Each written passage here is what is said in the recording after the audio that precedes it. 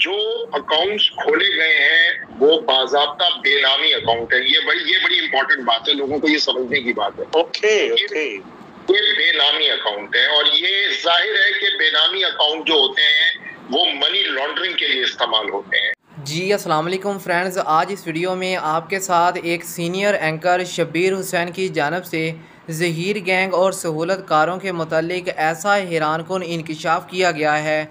Zaheer gang किस हद तक घटिया हरकतें करने पर उतर आया है और मेहदी अली काजमी साहब और उनकी अहलिया साइमा काजमी के हवाले से ऐसा हैरान कन इंकशाफ किया गया है, जिसे सुनकर आप भी कानों को हाथ लगाएँगे कि ये गैंग किस कदर ख़तरनाक है। और अगर मेहदी अली काजमी साहब मीडिया पर ना आते तो ना जाने ये गैंग मेहदी अली काजमी साहब के साथ क्या कर देता।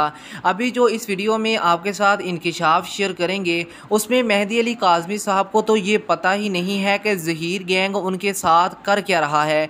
इस हवाले से आपके साथ एक क्लिप भी शेयर करने वाले हैं। वीडियो को मुकम्मल ज़रूर देखिएगा, क्योंकि ये आज की नई अपडेट है और इसके मतलब जो हैरान कन इंकशाफ किया गया है, ये ना सिर्फ़ मेहदी अली काजमी के हवाले से अहम है, बल्कि हर एक पाकिस्तानी के लिए भी ये मैसेज सुनना बड़ा ही ज़रूरी है, क्योंकि कल को ये वक्त आप पर भी आ सकता है। इस हवाले से अकरार हसन की जानब से तकरीबन एक माह पहले कुछ वीडियोज़ और आडियोज़ की सूरत में एक प्रूफ शेयर किए गए थे, जिसमें बताया गया था कि जहीर गैंग के फैसिलिटेटर्स जो हैं, बैरून मुल्क से पैसे मंगवा रहे हैं और इस हवाले से उन्होंने लाखों रुपए की रसीदें भी मंजर आम पर रखी थी, जिसके बावजूद भी इस गैंग की जानब से दावा किया गया कि ये हमारे प्रूफ नहीं है, बल्कि उनको जुटलाया गया। लेकिन जो अभी प्रूफ सामने आया आया है। उसमें मेहदी अली काजमी साहब के नाम पर बैरून मुल्क से पैसे मंगवाए जाते हैं और पैसे भेजने वाले बेनाम हैं। यानी कि उनके नाम का पता ही नहीं है कि पैसे कौन भेज रहा है। और इस हवाले से जो पैसे आ रहे हैं, वो मेहदी अली काजमी साहब के नाम पर आ रही हैं और ये गैंग वाले पैसे वसूल करते हैं और इनके कमीशन का कुछ हिस्सा है, ये रखते हैं और बाकी जो है, उसे वाइट पैसे के, वाइट पैसा करके पाकिस्तान में लाया जाता है जिसे ये केस लड़ते हैं। और जो इतने इनके फैसिलिटेटर्स हैं जी उनको भी मंथली पे कर रही हैं।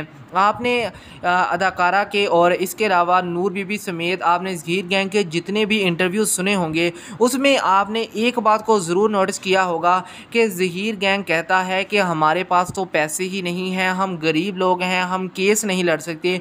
तो फिर इतने वकीलों को कितनी फ़ीसें ये लोग कैसे दे पा रहे हैं? आज बहुत बड़ा इंकशाफ सीनियर एंकर शब्बीर हुसैन की जानब से किया गया है, जिसमें उनका कहना था कि ये लोग तो मेहदी अली काजमी साहब आपको मज़ीद फंसवाना चाहते हैं, क्योंकि पैसे बरून मुल्क से बेनाम नामों से आती हैं। और आते मेहदी अली काजमी साहब के नाम पर हैं, और मेहदी अली काजमी साहब को तो पता ही नहीं है कि उनके नाम पर बैरून मुल्क से पैसे मंगवाए जा रहे हैं। और ये एक मनी लॉन्ड्रिंग केस बन चुका है, जिसके बाद उनका कहना था कि मेहदी अली काजमी साहब को चाहिए कि खुद को साबित करें कि ये पैसे जो हैं, ये हमारे नहीं हैं, बल्कि ये जो गैंग है, ये पैसे वसूल कर रहा है। क्योंकि कल को मनी लॉन्ड्रिंग का केस मेहदी अली काजमी साहब पर लग सकता है। और मेहदी अली काजमी साहब एक और बड़ी मुश्किल में जा सकते हैं। वीडियो में मजीद आगे बढ़ने से पहले अभी आप सीनियर एंकर की जानब से किया जाने वाला ये हैरान कन इंकशाफ उन्हीं की जुबानी सुने। हम पैसा देना चाहते हैं। आपके पास भी होंगे कि हम हम फंडिंग करना चाहते हैं इस मुकदमे की और हमारी हमदर्दियाँ मेहदी अली काजमी उनकी फैमिली के साथ है। ऐसे ही होता रहता है और ये सिलसिला है। देखिए जो अकाउंट्स खोले गए हैं वो बाजाबता बेनामी अकाउंट है। ये बड़ी ये बड़ी इंपॉर्टेंट बात है। लोगों को ये समझने की बात है। ओके ओके ये बेनामी अकाउंट है और ये ज़ाहिर है कि बेनामी अकाउंट जो होते हैं वो मनी लॉन्ड्रिंग के लिए इस्तेमाल होते हैं। ये बातें बहुत सारी ये बेहतरीन डेवलपमेंट है। आपने बड़े आइडियल वक्त पे ले लिया। ये कल मैं अपनी वीडियो में बात कर लेता। ये बेनामी ये बेनामी अकाउंट है और ये मनी लॉन्ड्रिंग के पैसे हैं। ये बाजाबता अब केस बनेगा इनके ऊपर मनी लॉन्ड्रिंग का। और आपको पता है हम फाटफ हम फाटफ की रेडार पर है। पाकिस्तान फाटफ के रेडार पर है। ये पैसे वाइट किए जा रहे हैं और बाजाबता कुछ हिस्सा इसका आता है। इनके पास जो ग्रोह के लोग हैं जो गैंग के लोग हैं और कुछ पैसा वो वाइट हो जाता है। तो okay. ये वादा बना है और अच्छा इसके लिंक मैं फिर आपको बताऊँ इसके लिंक जो है ना इसके सारे ताने बाने जो है उसी शहर से जोड़ते हैं जिसका मैंने आपसे पहली वीडियो में ज़िक्र किया था गुजरात से। गुजरात ओके ओके ओके जी जी जी कि ये यहाँ पे इस गैंग के बहुत सारे लोग जो बैरन मुल्क बैठे हैं वो इनको फंड कर रहे हैं। फंडिंग बेनामी अकाउंट से हो रही है। और वो बेनामी अकाउंट के डिटेल भी जल्द आ जाएँगी।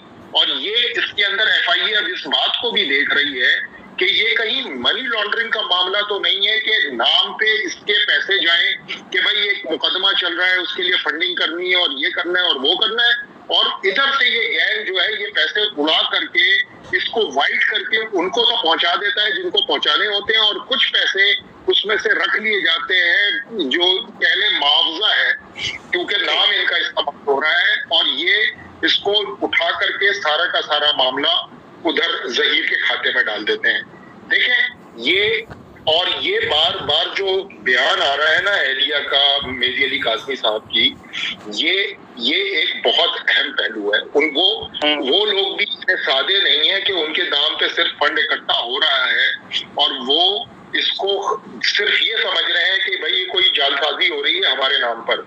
उनको ये बता दिया गया है कि मैडम और सर आपके नाम पे वो लोग पैसे इकट्ठे कर रहे हैं और इसमें एक और खतरनाक नेक्सस जो है वो मनी लॉन्ड्रिंग का आ रहा है। इसलिए आप बार बार वीडियो डालें ताकि आप अपने आप को दूर कर लें इस सारे मामले से, ताकि ये सबूत रहे कि कल आपके तर, आपके दरवाजे पर अगर एफ़ आई आके खड़ी हो जाए या बैंकिंग सर्कल वाले आके खड़े हो जाए तो आप अपने आप को क्लियर कर सके कि तो जी, अभी आपने सुना कि सीनियर एंकर की जानब से ऐसा हैरान कन इंकशाफ किया गया है, जिस पर यकीन करना भी काफ़ी मुश्किल है कि ये गैंग किस हद तक जा सकता है। और आपने देखा कि इस गैंग का सरगना कितना ताकतवर है कि वो ना तो बच्ची का एम एल ओ होने देता है और ना ही बच्ची को वालदेन से मिलने दे रहा है। और इस हवाले से अभी जहीर गैंग, जिसमें जहीर और शब्बीर जो हैं, इनके मेन और मरकज़ी करदार हैं इस गैंग के तो वो भी अभी ज़मानत पर छूट चुके हैं, जबकि इस मौके पर इन दोनों की ज़मानत किसी भी सूरत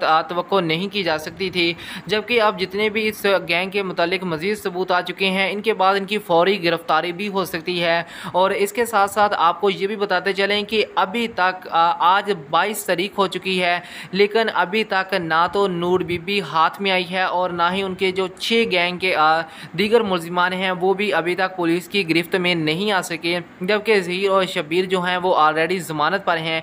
और अब इनके केस का सत्ताईस फरवरी को फैसला होगा, जिसमें या तो बच्ची का एमएलओ हो जाएगा और बच्ची का ये साबित हो जाएगा कि जहीर और शबीर के ख़िलाफ़ आइंदा जो है वो क्या लाहे अमल होगा और आइंदा क्या कार्रवाई होगी। लेकिन उससे पहले ही ये गैंग किस तरह की घटिया हरकतें कर रहा है कि मेहंदी अली काजमी साहब जो एक बेबस हैं, एक लाचार बाप हैं, उनके खिलाफ ही इस तरह के घटिया प्रोपिगंडे कर रहा है कि मेहंदी अली काजमी साहब पर भी केस बनवाना चाहता है। इससे पहले भी आपने गौर किया होगा कि मेहदी अली काजमी साहब पर इस गैंग की जानब से केस दायर किया गया था और उसमें यह कहा जा रहा था कि बच्ची ने अपने वालद पर केस दायर किया है।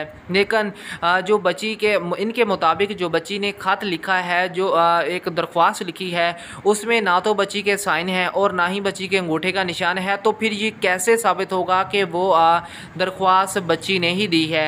जिसके बाद अदालत में जो सुनवाई थी, उसमें भी ये गैंग ये गैंग की जानब से कोई भी पेश नहीं हुआ और ना ही इनके वकला की जानब से कोई आया है। और इसके बाद जब इकराल हसन की जानब से इस गैंग के मतलब वीडियोज़ और आडियो सबूत फ्राहम किए गए, रसीदें फ्राहम की गई तो उस वक़्त भी इस गैंग की जानब से इकराल हसन पर भी तरह तरह के इल्ज़ाम लगाए गए थे कि इकराल हसन लुंगी पहनता है इकराल हसन लड़कियों को कमरे में बुलाता है। इसके अलावा भी घटिया तरीन इल्ज़ाम सिर्फ़ इसलिए लगाए जाते रहे कि किसी भी तरह करके कुछ ऐसा कुछ कर दिया जाए कि इकराल हसन इस गैंग को एक्सपोज करना छोड़ दें।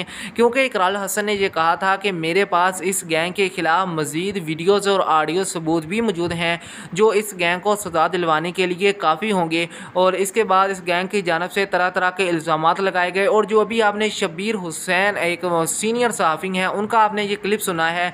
तो इसके बाद इस गैंग की जानब से उनके खिलाफ भी प्रोपिगंडा किया जा सकता है, क्योंकि ये एक ख़तरनाक गैंग है। और इस गैंग की जो पहुँच है, वो तो अभी आपने देख ली है कि ये गैंग किस हद तक पहुँच रखता है। एक रिपोर्ट के मुताबिक मुताबिक तो ये भी बताया जा रहा है कि जो बैरून मुल्क से पैसे भेजते हैं, वो भी जहीर गैंग का ही हिस्सा हैं। यानी जहीर गैंग के कुछ लोग ऐसे हैं जो बैरून मुल्क बैठे हैं, वो वहाँ से फंडिंग करते हैं और यहाँ से ये गैंग पूरी तरह से मुनज़म तरीके से अपनी जो है वो चलता है और इसी तरह लड़कियों को जो है वो अगवा करता है और उसके बाद उन्हें बेच देता है। जैसे कि जहीर और शबीर के हवाले से भी इनकी जो एक गाड़ी है जिसमें दुआ जहरा को घुमाया जा रहा था, वो के पी के पुलिस की तहवील में है और वो गाड़ी जो है जिसमें नंबर प्लेट कोई और है और गाड़ी का जो रीजनल नंबर है वो कोई और है इस तरह की गाड़ियाँ मनशियात फ़रोख्त के लिए भी इस्तेमाल की जाती हैं और बच्चियों को स्मगल करने के लिए भी इस्तेमाल की जाती हैं। जिसके बाद अब आपको इस गैंग की असलियत का अंदाज़ा हो चुका होगा कि ये गैंग किस कदर ताकतवर है किस कदर ख़तरनाक है और बेचारा मेहदी अली काजमी जो इनके ख़िलाफ़ लड़ रहा है आ, उनके ये देखें कि उनके ख़िलाफ़ भी इस गैंग की जानब से प्रोपिगंडे किए जा रहे हैं कि किसी भी तरह करके उनके ख़िलाफ़ भी कोई कार्रवाई कर दी जाए कि उनका जो ध्यान है वो उधर चला जाए और फिर ये बच्ची के साथ जो मामला हैं वो अपने हिसाब से ये कंट्रोल कर सकें।